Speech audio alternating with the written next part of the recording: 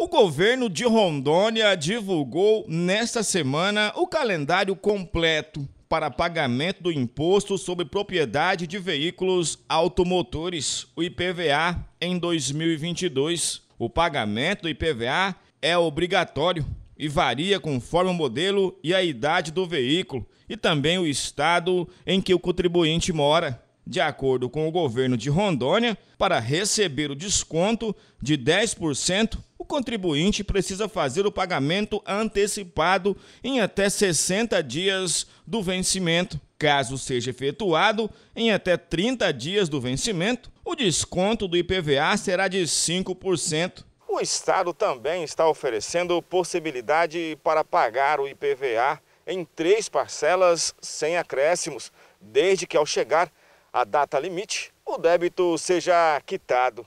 Assim como no ano passado, o IPVA 2022 não foram alterados e permanecem as mesmas, variando entre 1%, 2% e 3% conforme o tipo de veículo.